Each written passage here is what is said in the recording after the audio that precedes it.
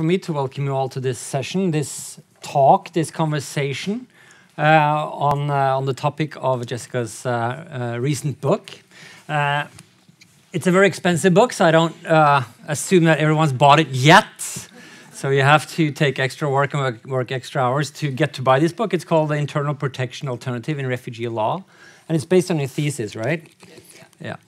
Um, I have actually read the book, and it's a, it's a great pleasure to read. It's quite easy read for, for me as a non-law scholar to, to read. It's actually possible to read. It's not too technical, and there are uh, a lot of examples, uh, lots of uh, you know things that make it easier to to read for for the common man or common woman. Um, my name is Jan Paul Brekke. I'm a researcher at the Institute for Social Research in Oslo, and this is my first time at CMI, so I'm having a uh, a great day. It's, it's been a great pleasure to be to see this uh, this this great center and this uh, this environment for for research. Uh, we will. Uh, I'll just provide a little bit of context uh, to the book and to this work. In 2010, we started a refugee Norwegian Refugee Council project called called Migration to Norway, and one part of that study was uh, consisted of lawyers looking at different aspects of the Norwegian uh, refugee regime and the international regime in relation to that, and what that, how that impacts policies and flows. Uh, and Jessica continued that work, and on this ended up in this on this particular topic, and has now published the book. So very happy. This is kind of so the project is from 2010 until now. I feel like this is kind of finally kind of putting a bow a bow on everything, and that we've finalizing and, and cl getting closure finally on this project. So that's great. We're also so Jessica, you're with the CMI, and we'll I'll start conversation a little bit. Uh, we're also very fortunate to have Jeff Crisp here.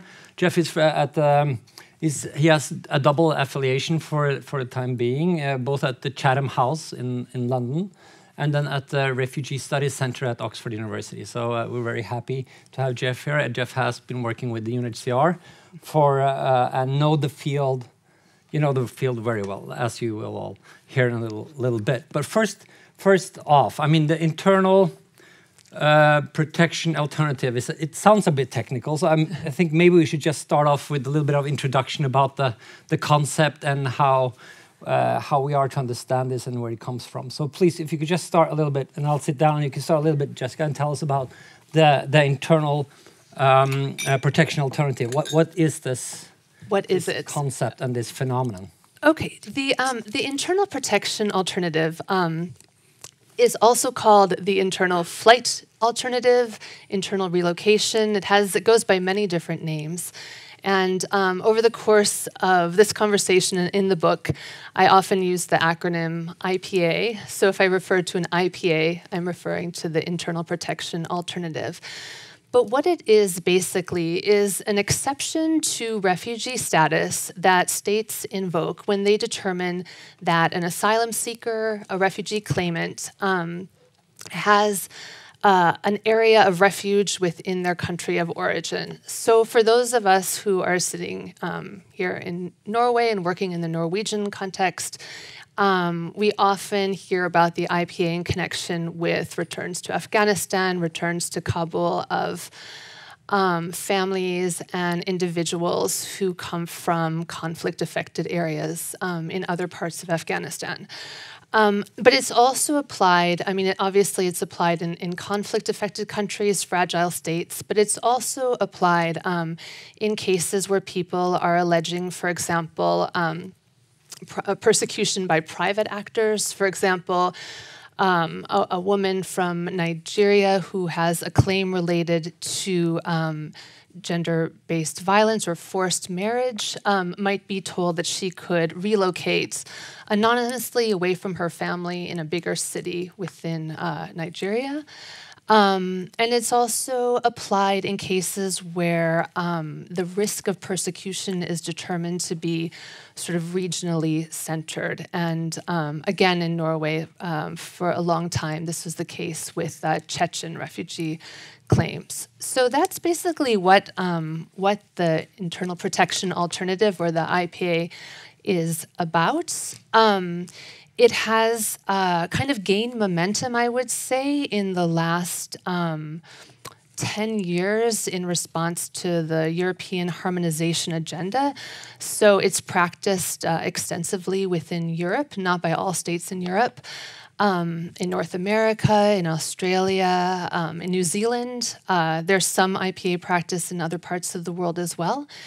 Um, and it, it basically is uh, justified conceptually. Um, uh, through the idea that refugee um, protection is a backup or surrogate or substitute protection for the absence of protection um, provided by the state to its citizens or permanent residents. Um, so, in addition to that, um, states and, and UNHCR and uh, judges had tr- have tried to identify a kind of IPA limit within the refugee definition itself. And here I'm talking about the 1951 Refugee Convention and its 1967 protocol, which is the international uh, instrument uh, regulating status of refugees. So this lies outside of that. This is outside of that. Of that definition? Yes, yeah. Well, or no? Not that Yeah. it not in, but as a legal instrument, it's on the side, right? It's not. Well, it's been read It's into not. the definition. I mean, so for example, UNHCR has um, has written that the IPA, the internal uh, protection alternative, is sort of can be seen as part of a holistic assessment of the criteria for refugee status. And um, if you read the criteria for refugee status, you'll know that um, refugee status um, is conferred upon people who are outside their country of origin, who have a well founded fear of persecution on the grounds of race, ethnicity, religion, political opinion, social group, and who are unable or unwilling because of that fear to avail themselves of state protection.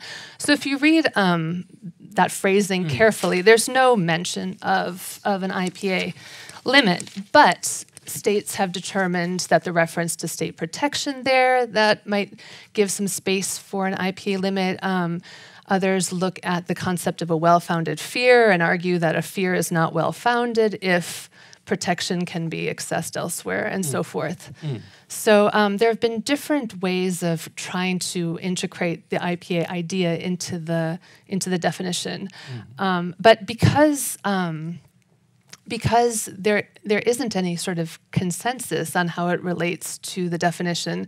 That was one of the things I was trying to clarify in the book. Let's let's just uh, put a pin in that, and we'll come get back to your to your findings. But let, uh, just want to turn to you, uh, Jeff. On the we were hearing that uh, Jessica say that she says that this concept and this phenomenon has kind of made a return into into the agenda of uh, in Europe, and but I thought this was doesn't it have a different history? Could you just say a few words about that and the, the its position within uh, within a broader context of international protection?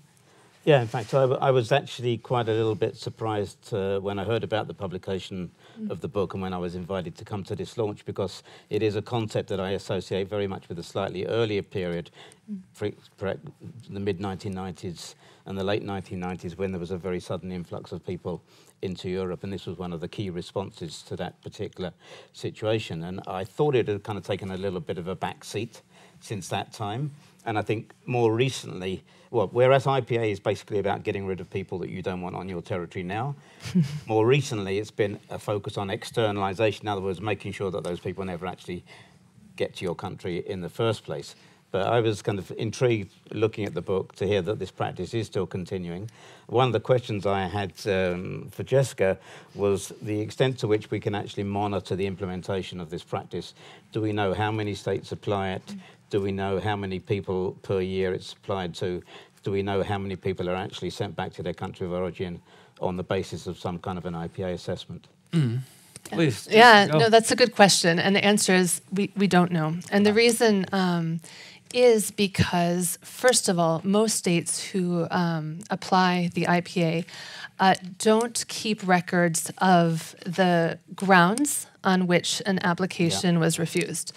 Um, that's one reason. Um, the second reason is because um, even if states do identify um, a refusal on the basis of an IPA, um, in practice, it gets really confusing because um, it's often like considered as a secondary basis for refusing the claim. There is um, a construction that I found in a lot of the cases I read um, that is sometimes called like the even if formulation. So, even if what this person is saying about the conditions in Afghanistan or whatever is true, so when there's a credibility issue or an issue about the assessment of an actual risk, then the person would have an, an IPA. So it, it doesn't really matter on what basis we make this um, assumption. And I know that's true in, in Norway for just reasons of sort of efficiency in asylum determination procedures. Caseworkers are you know, encouraged to kind of identify the kind of easiest threshold on which to justify their decision. So, um, so there's a lot of reasons why it's hard to capture the actual numbers of people it affects. Mm. And a quick, a quick follow-up to that is, um, to what extent do we know whether in Norway or in other countries it's possible to appeal against IPA determinations through the higher courts? And to, if so, to what extent are people successful in challenging it? In challenging that. Um, I don't know the answer to the second question, but I will say that often um, the IPA issue is only really substantively addressed at the appeal stage um, because often, um, and this is based on just some a, small amount of empirical research in Norway and all, the UK and other places in, in Northern Europe. Often, um, the um, claimant isn't really prepared to give evidence about the possibility of return to some other place in their country of origin because it doesn't necessarily occur to them that they need to um, th- this is like even part of the assessment of refugee status. So where really the issues come out and um, lawyers come on board and try and buttress um, buttress uh, the um, determination is really at the appeal stage. At least, at least that's the case um, here, here in Norway. So, so it is the topic of mm. appeals. Um, and you've chosen Afghanistan as your primary case study, I think. Is this a, a phenomenon that's particularly relevant to, to Afghanistan? And if so, why Afghanistan? No, I think um, Afghanistan isn't. Uh, I so the the piece itself, the the book itself, is really kind of a. A, a, dogmatic legal analysis. I have one chapter that's looking at practice in Norway. Mm-hmm. And um, there I talk a lot about Afghanistan because the um, application of the IPA in Afghan cases has been like a, a long running uh, topic of uh, debate and also mm. political debate. Um, mm. You've been following this as well mm. since 1998, mm. maybe, and especially in 2008. So, this particular issue around, um, for example, the availability of networks upon return and this sort of effective links assessment has been um, especially relevant for the Afghan cases. Mm. Um, well, we could, maybe we could get back to the, the Somali case as well, and then and the Afghan case, as you, as yeah. and then Norwegian uh, policies towards those uh, or. Uh, implementing IPA to, towards those two contexts, but uh, could you just first uh, mention a few of the findings or the what you kind of find in this in this report? How are your conclusions? Oh, and then we can get back to kind of the details on the policy. Yeah. Um, well, I think the I just wanted to say a little bit more about sort of the motivation for writing about this because I mean I talked a little bit about its un, uncertain basis in in refugee law, um, but also the practical consequences of an IPA. Um, uh, have been problematic from the perspective of legal security because the safeguards that states apply um, to the same groups or to um, even even within countries, uh, decision makers tend to apply different criteria um, for determining who has a valid um, IPA. So, uh, so it's a problem also for the actual human security of people being returned. Um, some states, UNHCR has consistently maintained that um, in order to uh, apply the internal protection alternative, um, the area of return has to be safe and it has to be reasonable for um, for the claimant to return. That. Uh, formulation is kind of a way of accommodating the IPA with the overarching goals of the convention, which are to, pro- um, to protect people from return to ill treatment, first and foremost, non refoulement, and then also to sort of pave the way for assimilation in a new community. So, by kind of translating those values, I guess, to the I- IPA um, context, uh, this safety and reasonableness um, formulation uh, was was developed and has been um, uh, domesticated in many jurisdictions. Not in Norway, but we can talk about that. But um, but at the same time, the criteria for what constitutes safety and what constitutes reasonableness is um, really uh, difficult to pin down and mm. has been applied in really disparate ways. Um, and so that's obviously a problem, and it mm. raises the risk that people actually are returned to um, to ill treatment.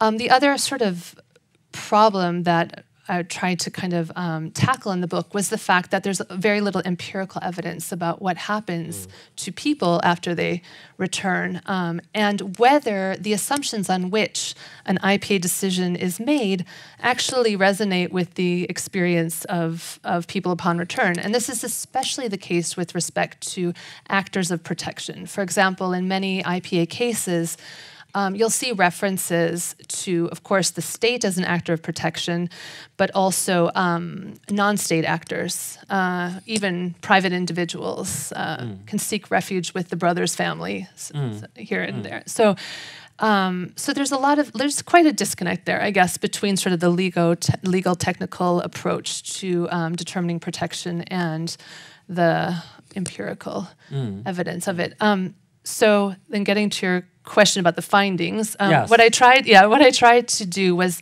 um, propose a way of understanding the IPA that is consistent with the object and the purpose of the convention, and mm. so.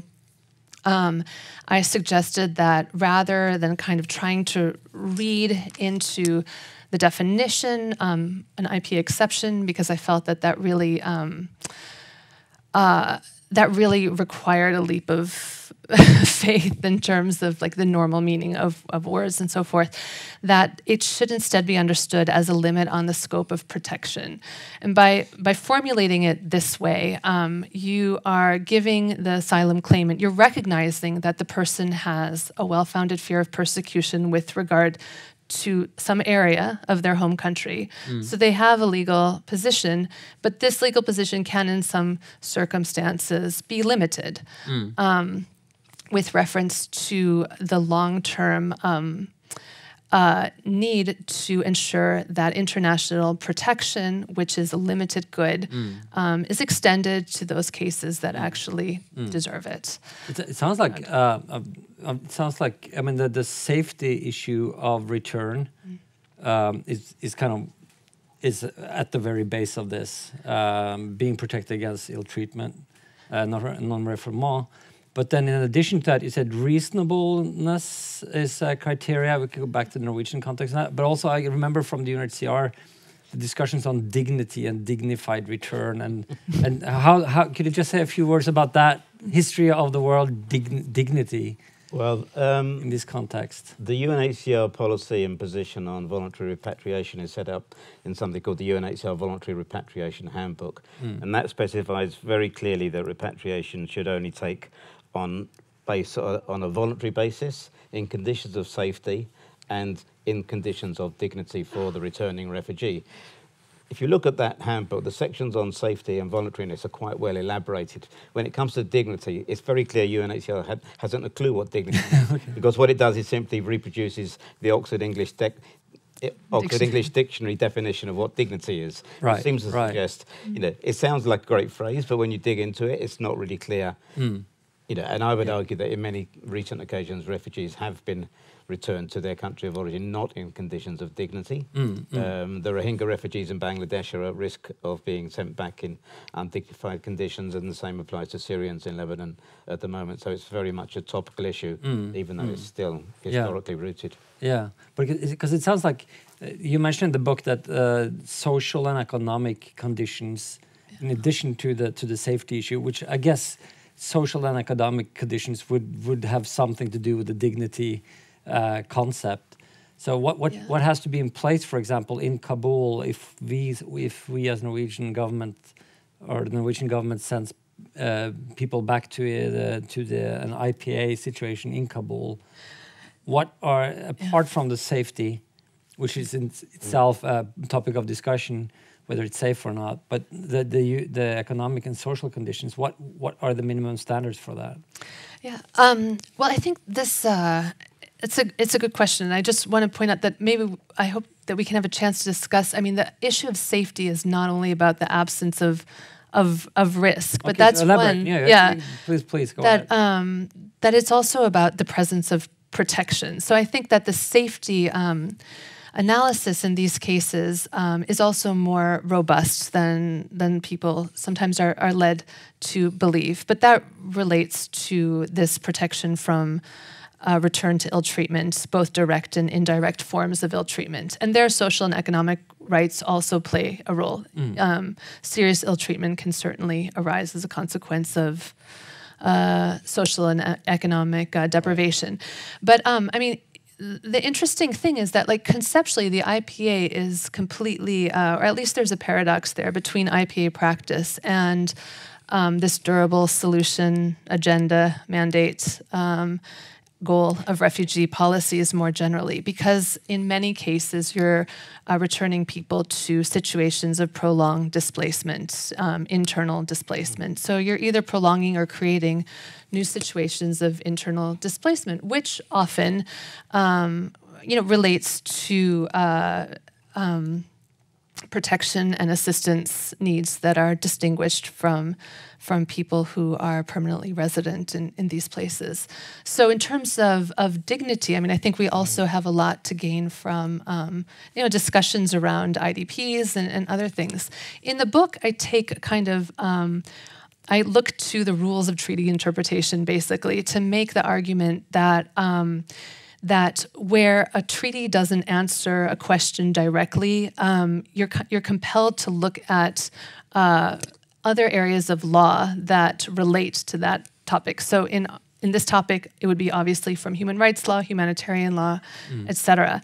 And so, um, so I discuss why um, issues that are outside the formal scope of safety, not only um, social economic rights, but also things like past persecution, uh, the return of people to um, like areas, uh, the the, pro, uh, the um, the relationship between ethnic cleansing, for example, and return, like returning people to areas where, yeah, they might be safe there, but it's as a consequence of, of ethnic cleansing from other areas, and sort of the relationship between all of these norms that are related to IPA practice and um, the the IPA test itself.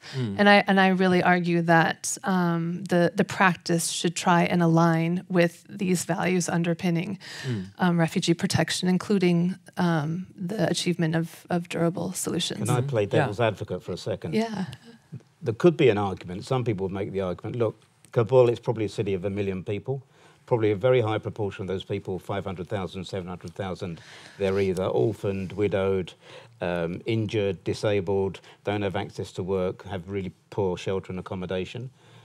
So why shouldn't somebody be sent back to those conditions? They're no worse than any other Afghan is going to experience. Is that is that an argument that's advanced in support of IPA? I think, yeah, I mean, um, definitely in state practice, you get those like relativistic arguments where they compare, they compare returning the situation for returnees to other people or even other IDPs. Um, that practice is is um, pretty consistently acknowledged as um, incompatible with with uh, the, with the IP test. But yeah, no, definitely that's an argument um, that that you hear a lot, especially in the context of Afghanistan, where you have okay, maybe a few thousand returnees from some European countries, but then you have a million returnees from neighboring countries, yeah, right?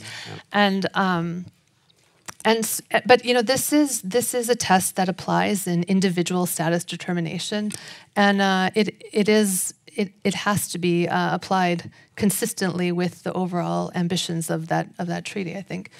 Could, So uh, The, the, you mentioned in your book the importance of uh, information about the country of origin, and uh, that has been on the table at the European on the European agenda as well, uh, with regard to the Commission's uh, uh, proposal for for new a new um, processing regime, um, where the country of origin uh, information should be equal for all countries, and they have to adhere to the same list. And. Uh, and in renewal and, and uh, where they consider revo uh, revo possible revocation of cases. But anyway, the, the, the country of origin list and, and assessment of the conditions there, what is the importance of that in this IPA? How is this used in the, in the IPA context?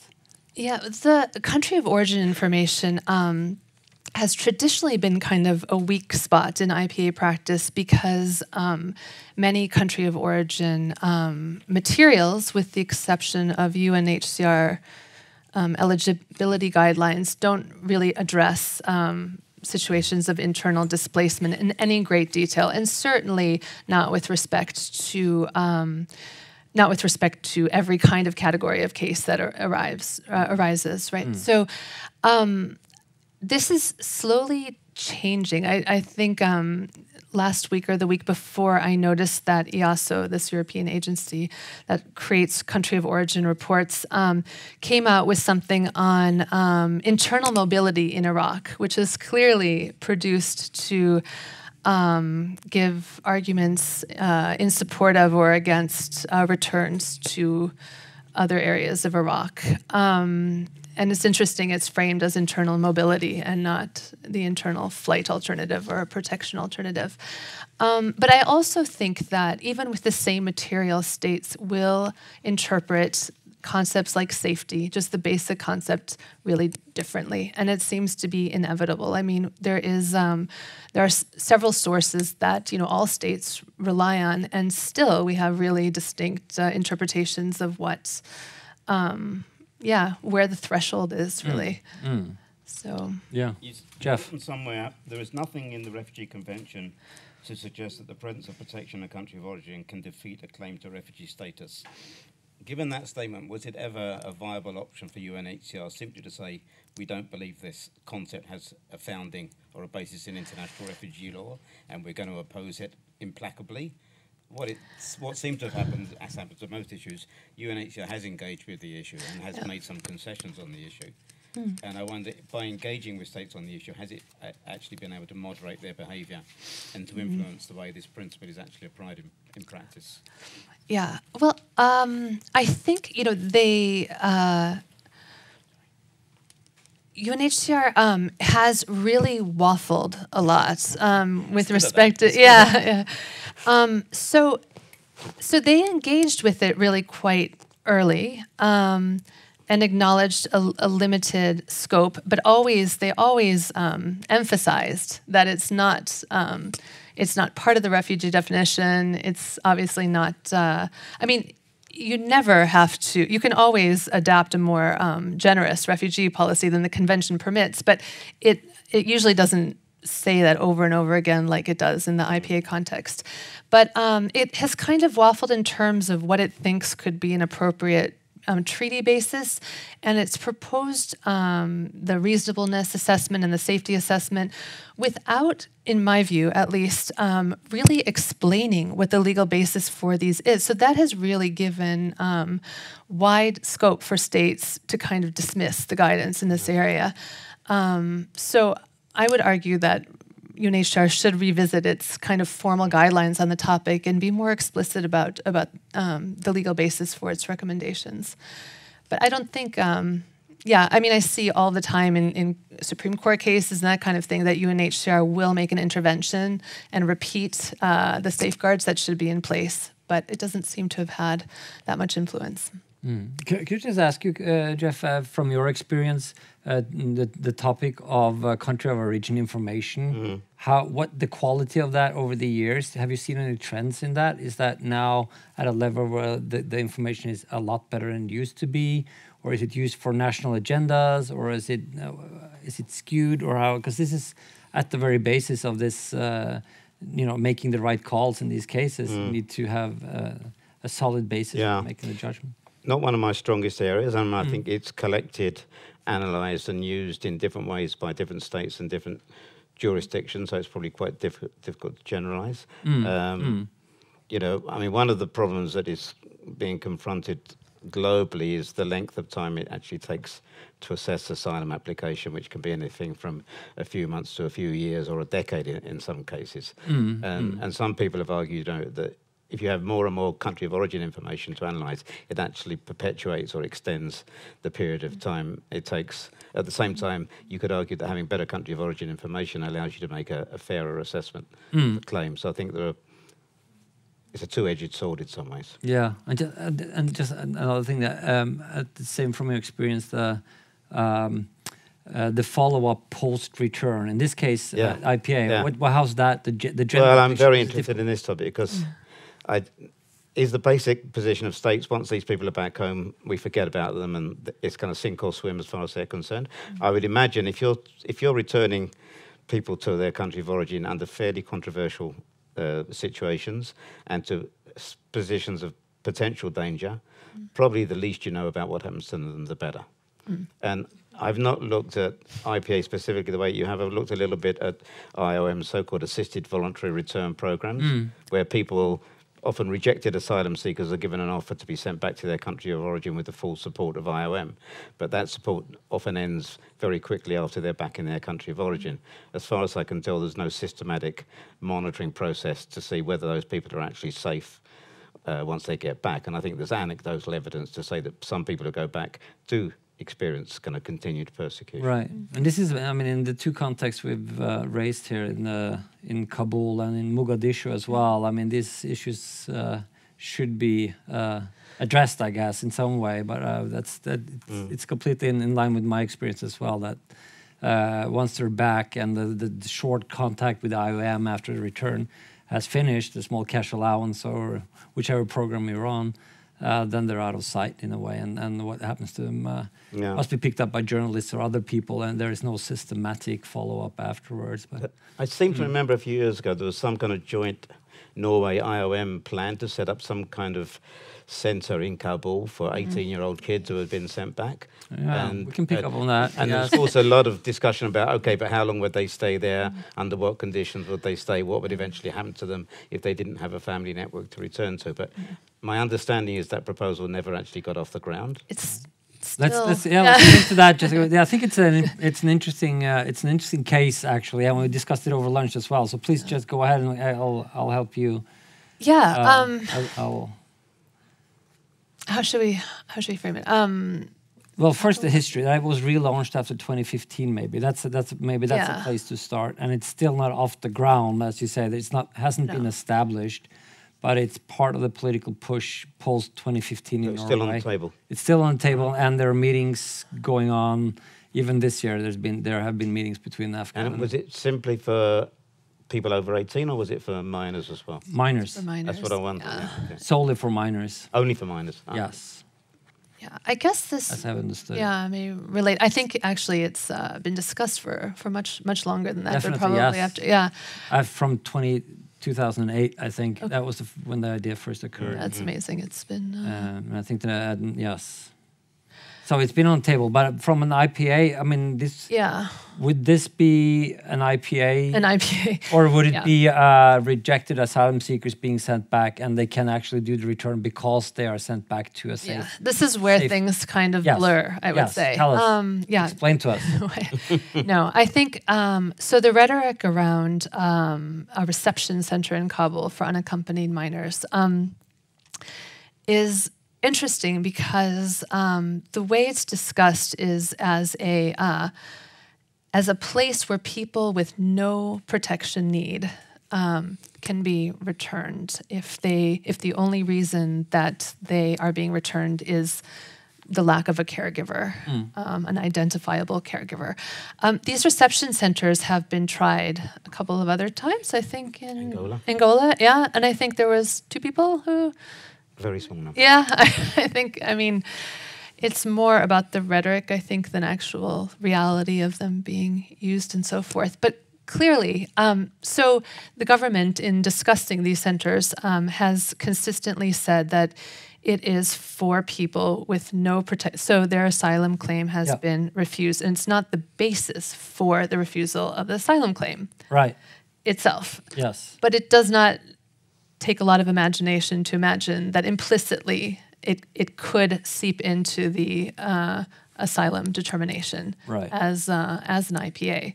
So formally, no, it's not it's not framed as an IPA. Right. But um, but but the the, re- the rhetoric is so confused precisely because because of the reference to people with no protection need. And in Norway, the um, language around having a protection need doesn't refer to people who have a protection need with regard to the place they left. It's they don't have a protection need uh, vis-a-vis their country of origin in general. So uh, even though people who have fled because of a well-founded fear of persecution on some basis um, are are discussed and talked about in the media and in political discourse as having no protection need because they presumably have an IPA. So whether people with no protection need are people who don't have a protection need because they have an IPA, um, are then returned to these uh, centers or or so forth is it's it's Is- open, uh, but isn't the center in? Isn't I think they want to. Uh, I think the plan is uh, to do this in uh, collaboration with the Dutch Danes- government. It's a right? Danish government. Danish, yeah, not the Dutch. yeah, Danish. Okay. Um, and I guess that the civil servants working with this hope that uh, they never have to actually do it, because it will just be it will raise a lot of questions and uh, and issues. But but as Absolutely. so that I think that I mean that marks you, you mentioned this as well in your book that it uh, post 2015 this list of measures that you go into some detail in if you kind of come move a little bit over to the Norwegian case and this was similar in a lot of regimes in, in Europe right? Uh, uh, was made to deter people from coming more than being good solutions to or solid solid legal solutions I don't know if you want to Yeah, no, I think, Elaborate. I mean, I think um, obviously the um, influx of refugees in 2015 gave um, momentum to a lot of the types of policies that we've been seeing for a long time since the mid 80s. Um, the identification of safe third countries, extraterritorial processing, all of all of these things. Um, what I think is different um, is that uh, some of the new interpretations um, of what's legal and not actually touch on the refugee convention itself. Um, I think in, in response to the Balkans crisis, you know, you would set up temporary protection regimes, sort of parallel regimes of temporary protection that were distinct from refugee status per se, um, and that's how mass influx was kind of dealt with. Now we see that more and more states are trying to um, interpret the Refugee Convention in a way that um, uh, reduces the durability of protection and also kind of limits the geographic scope of protection. Maybe a reception center is the extreme example of a limited space of protection. But I, yeah. This, this example of the, the children's centre in Kabul reminds, I think there's a lot of parallels with the, the, the consistent uh, idea of having reception and processing centres in North Africa, mm. where people's cases can be assessed rather than allowing them into Europe to do that there. Um, the parallel is that for politicians who don't really understand the issue, it's a kind of, it seems to be a quick and easy solution to the problem. It plays very well to the general public because mm. again, it's it looks like a relatively humane answer to a, a very tricky situation. But when you mm. start to delve into the operational, legal, and ethical practicalities, it never actually comes quite off. So. Despite many, many different proposals for reception and processing centres in North Africa, some of which are back on the table right at this very moment, it never seems to get to the implementation phase. And it seems it's the same with this idea of having a children's facility in Kabul, that it's actually more complex than it first appears. Mm. Mm. And do, do you see any chance at all, Jeff, for this, having been in the bridge context and knowing the European and the, the global context? the North Africa thing, Yeah. Yes, I'm establishing these disembarkment. I'm going to say I'm positively pessimistic, if that makes sense. in the sense that I'm pessimistic, but I think that's a good thing. right. because the North African states, I think, without exception now, all of the North African states bordering the Mediterranean have basically rejected this idea Mm. and have said they don't want to become dumping grounds for people that Europe doesn't want to admit. Right. Now, I think we can be fairly uh, sure that the EU will come up with more enticing offers of various forms of assistance, financial, developmental, perhaps even military, in order to try and encourage uh, the North African states to move in this direction. At the moment, fortunately, there seems to be some kind of solidarity amongst that state, those hmm. states. Just recently, I think there was an EU AU African Union summit, hmm. at which the African states basically said, "Forget it, we're not going to go ahead with this idea." Hmm. But it's one that I'm sure that the Europeans are going to persist with, simply because they can't think of too many other options that would suit their political priorities.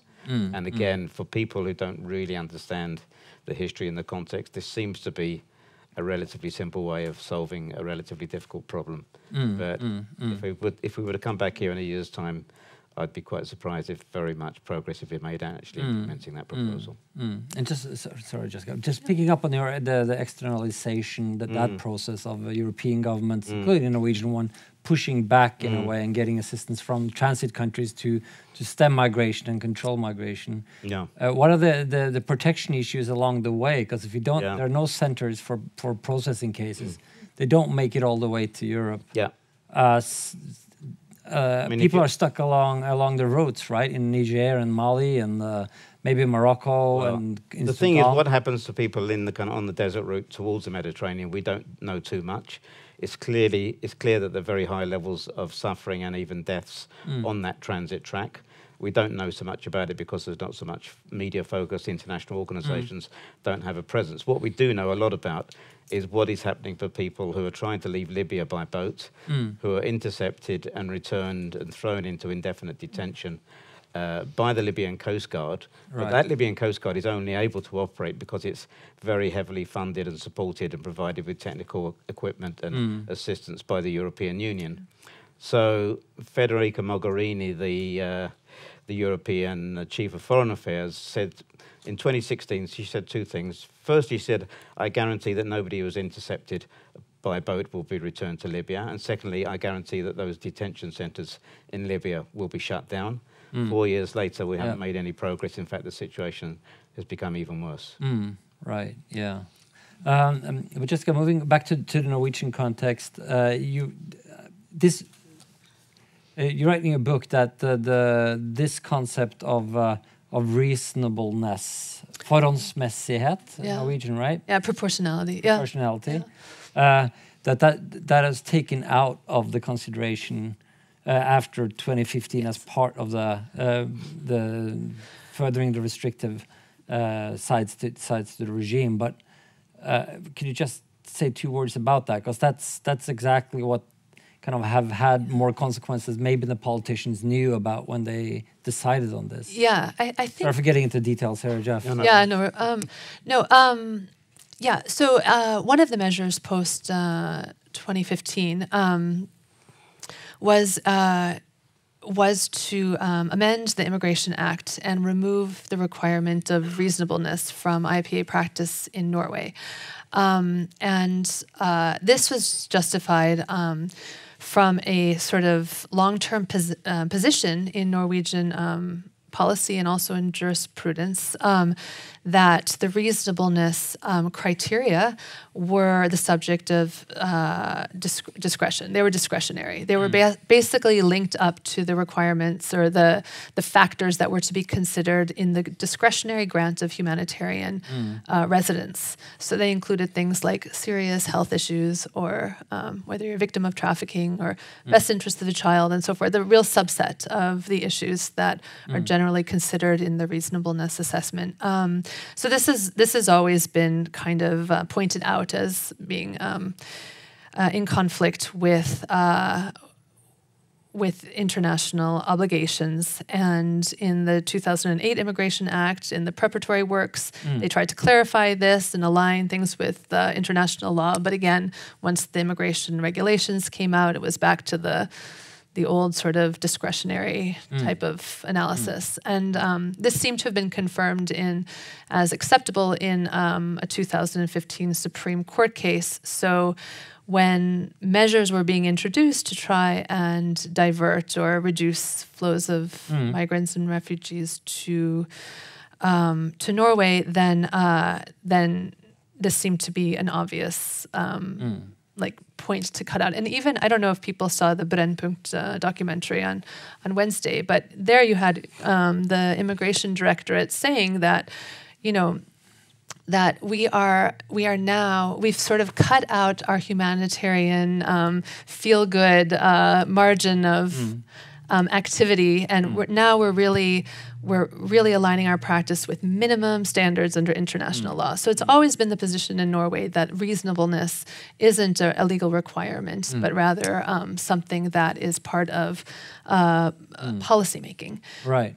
So, I mean, the book the book certainly frames reasonableness um, it, uh, um, a number of different ways, but definitely anchors it as part of the um, integral uh, part of the IPA test. I think I think it, I mean it, it's this is so important because uh, and here in Norway is actually an interesting case for the rest of Europe. I think because it's spearheading a practice where they uh, uh, they practice cessation of permits already given and also refugee status is is take is revoked within a three year limit uh, with with um, pointing to conditions in the home countries having improved. Uh, so, and this is really being tested out now on the Somali group uh, Somali cases, primarily. yeah. Uh, but then these things come into question, and the and the the, the question of re- how reasonable is this after a couple of years in the country, having had the permit, having believed to have a permanent you know, or being direct, you know, in the direct going in the direction of permanent stay, and then being revoked, or have you know having their uh, their permits. Uh, um, Revoked. Yeah, Yeah, revoked, yeah. yeah. I mean, I think traditionally the application of this cessation analysis um, has, you know, required that the reasons that gave rise to refugee status have Mm. been extinguished in the country of origin, right? So naturally, then um, expecting someone re- to return to an IPA, Mm. um, yeah, it doesn't necessarily indicate that those conditions have have changed. So really, um, this kind of IPA practice within the cessation context is um, is really really problematic for for a number of reasons, and it also, I mean, quite practically. Um, suggests that the state doesn't can't provide durable protection to people if if there are parts of the country that uh, are unsafe to return to. I, I, going into details again here, but I think what what uh, struck me as interesting uh, as well in your in your book is that if you send people having their permits, uh, having a cessation case or an IPA case, uh, to a, a limited geographical area as a city, and even pockets within the city, and saying that that's that's safe and dignified, basically. Uh, could you just elaborate on that? Because what are the kind of minimum conditions and the minimum scope and area you could send someone to, Yeah. and still say it's it's uh, it's you know the the basics are, uh, Are fulfilled, yeah, in Well, the way I um, deal with the freedom of movement issue, uh, freedom of movement, right to return, all of these different interests that relate to this emplacement within a country, um, is by um, by suggesting that these interests are part of the proportionality assessment in IPA cases. Um, some countries like France require that an IPA is available in most of the country, so that you can't simply refer people to um, a city or or um, even a location within the city. Um, this kind of tendency to identify smaller and smaller pace, places of protection um, also. Uh, is really problematic for specific groups. You're presuming that people know um, how to protect themselves, what area that they can they have a choice of where they go within a place. Um, for women who are returned to, for example, uh, their husband's families or something, their freedom of movement can be constricted in other ways that aren't accommodated at all by this kind of general um, uh, practice. So, um, but in general, I, obviously it uh, it's it completely conflicts with the idea that protection should be durable, the durability of protection, and that uh, the the space of persecution should really be an exception to the rule for I, IPA to be a legitimate response um, in a refugee claim. I mean, I think there are cases where an IPA is uh, is a legitimate practice, but um, one can imagine that those are areas where the risk of persecution really is centered in a small area of the country of origin, and that the the claimant has connections to other areas where um, where which would make uh, relocation and uh, resettlement uh, more um, um, viable. Okay, may, uh, we can have some comments and, and questions f- uh, from the audience if you if you'd like. Uh, anyone want, want to comment or uh, ask any question? Could be about the international protection regimes uh, and system, or it could be a, uh more on separate issues. Feel free to raise your hand if you want to. Yes, please, Terje. There's a microphone. Jessica, you, you highlighted. Uh, Terje Einarsen from the University of Bergen. Just to all the people watching the stream or um, go. Thank you very much. Um, Jessica, uh, you highlighted um, uh, the fact that uh, uh, the, in, the, in, the internal uh, protection alternative uh, uh, was quite early accepted uh, in the UNHCR uh, handbook uh, from 1979, I think. uh. Um, and, and then in, in the book, uh, and as you also mentioned here, uh, the UNHCR's analysis um, is not really so well grounded uh, in international legal sources. Uh, and, and this seems to make the doctrine, and especially the criteria of reasonableness, quite vulnerable to uh, more aggressive uh, state practice and, and wishes to, to, to, to limit uh, their international law obligations. Um, so, for instance, uh, I, just participated in a debate uh, last week with, uh, with a, um, the spokesperson for one of the, the, the parties in, in the go Norwegian government. And, and, and he seemed to think, and, and he, he argued or he, he told about this uh, to the audience that the reasonableness uh, was just something that was outside the refugee definition, something that was added uh, on a, on a vol uh, voluntary basis uh, and had nothing to do with, uh, with the law.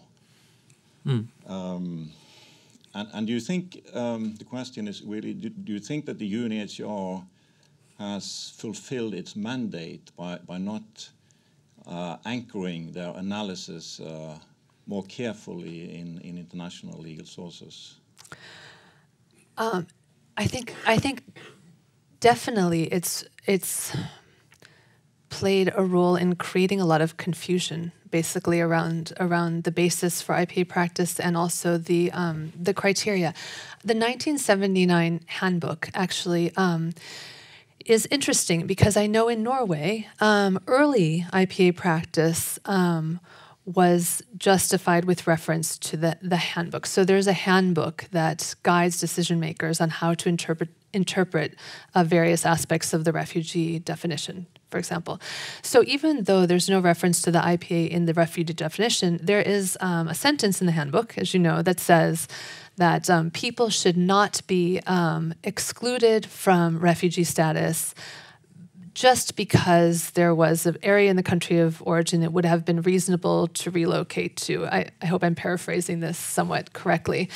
Um, and when I, I actually talked, um, so this, I, I found some commentary on this from um, Gilbert Jaeger, who was the head of the Department of Protection at the time the handbook was written, and also someone else who who talked about, and this was, I think, in um, a submission to a court case on the IPA, just to re-emphasize the fact that this um, paragraph 91 of the handbook was written in an attempt to restrict this incipient IPA practice that um, UNHCR had picked up from jurisdictions from basically from the Netherlands and from, from Germany. So it wasn't the intention of UNHCR to promote IPA practice in the handbook. Nonetheless, that reference to reasonableness, which in that case was simply um, like a, a measure of prudence. It, it, it, didn't have any legal meaning in that context. It was just. Um, I talked to someone who's working in the Department of Protection at the time, also who, who confirmed that there are lots of references to reasonableness in the handbook that that simply reflect kind of like a careful tone that they were trying to take um, throughout the handbook. That wasn't sort of legally relevant at all. So, nonetheless, this concept of reasonableness sort of took on a life of its own and then was justified in various um, uh, guidance notes from UNHCR and then finally in the guidelines on international protection. Um, and I think that uh, UNHCR has tried to link the reasonableness concept with the overarching goal of the convention. Um, in, in that way, so in, that is a legal argument you can make, um, but it doesn't. Uh, what's happened is that um, states have put into the reasonableness concept basically only those things that could indirectly lead people to be returned to their area of origin. So, the very basic minimum humanitarian standards or other serious harms that aren't persecution related and, and things like that. So, I, I think that um, that UNHCR definitely has an opportunity to, to, re- to revisit the IPA in light of how it's being interpreted now and give much clearer uh, guidance as to how it should be framed.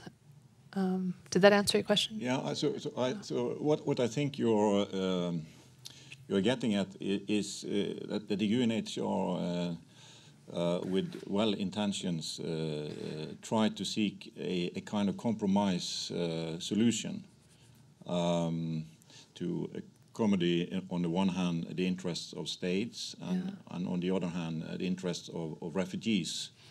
Um, but but what uh, has been perhaps lacking, and I think you discussed this in, in the book as well, uh, is for instance to, to make use of well-known international doctrines of in interpretation of treaties like uh, implied limitations yeah. to to to, uh, to, treaty obligations. That in certain cases it's justified, but if there is an implied limitation, it's still a limitation within the law right. and not something uh, outside of it.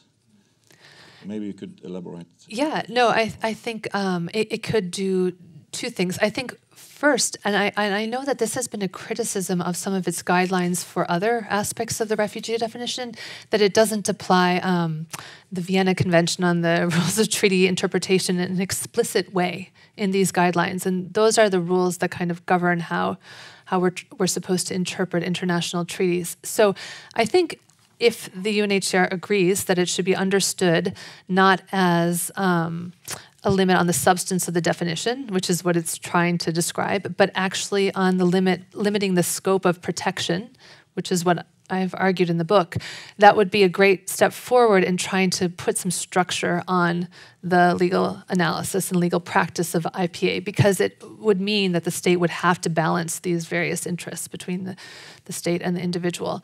Um, but I think it, it should also, in addition, be more explicit about, for example, where the criteria for reasonableness themselves come from. Why, instead of just saying that internal the application of internal flight should um, not prolong situations of ethnic cleansing or something like that. Instead of just saying that, it should say why, why this is a legal obligation of the state that's parallel and should be accommodated within the IPA practice. Um, yeah. Other questions, comments? Um, what I just want to. Uh, uh, I just want to hear your uh, thoughts, having written this book on on international refugee law. What what would be the ideal kind of process towards changing this, or kind of alienating these different sources? Are there what's the what would be your what's needed in a way, given the gaps you found? Yeah, I think uh, I think what is needed is sort of um, well, well, two things. Is is a recognition of um, the limits of human rights laws and norms on on refugee law practice, I think it's really easy for us to say that human rights law should inform every aspect of, of refugee practice. But one thing I do discuss in the book is how this reliance on human rights law, and even in Norway, we see that the reliance on human rights jurisprudence, for example, from the European Court, has led to a really low threshold of of this for the safety determination in IPA practice. But understanding the relationship between refugee law and human rights law, and how human rights law should inform the refugee con, um, concept, but not limit it, is also related to the fact that that we shouldn't focus um, too much on the presence or absence of state protection as the defining conditions for the refugee concept, that we should keep the refugee, the individual, as the subject of the refugee uh, status determination, um, rather than shifting all of the focus on the, the mechanisms of, of the state and its willingness and ability to provide protection. Because there are just so many um, loopholes that open up in terms of state practice if we do that. Um, in addition to the fact that I think it's it's it contradicts the spirit of the convention. Mm. And yeah, and it reminds me of um, something that Atle Grahl Madsen, who yeah. was a professor here at the university, said in his first book on the ref- on refugee status, which was that, um, which was really advising readers and advising people not to get too hung up on this this notion of state protection um, to the detriment of the the refugee and his or her um, reasons for reasons for moving. Hmm. So. I think that that's a very nice uh, uh, um, place to end. I think, I, and I also want to. Uh, I mean, the, the, concluding remarks at the very end of the concluding chapter of the conclusions in the concluding remarks, you end up uh, uh, pointing to uh, that there should be a fair balance between fundamental rights and legitimate state interests. Up and, and, and in that upholding the privileged position of the refugee in international law. It's a very beautiful final sentence, I think, and uh, that balance is difficult to strike, and we're all looking for it. So thank you so much. Thank, thank you, you, Jeff, Jessica. Thank you. Thank you for coming.